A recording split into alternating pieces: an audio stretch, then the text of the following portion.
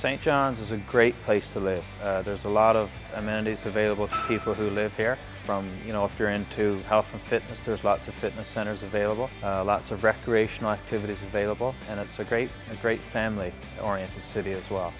Yes, St. John's is a beautiful city. I just recently returned to St. John's from being away from the province for more than a decade, and uh, it's a wonderful place to live.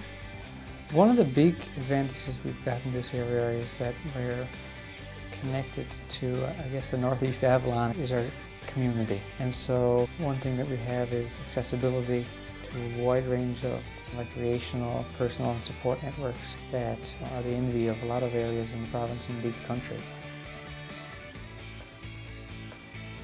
On the service side of things, uh, you know, for anybody who's, who's, who's either studying or working in this area, um, there's lots of services that are available. Uh, we have a really great hospital and Children's Hospital Janeway, the General Hospital, uh, absolutely top-notch services there.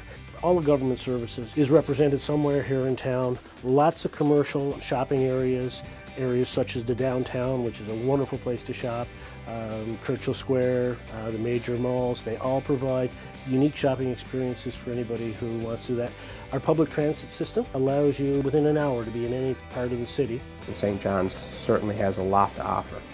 As I said, I've been here six years and I still haven't seen everything that, that St. John's has to offer.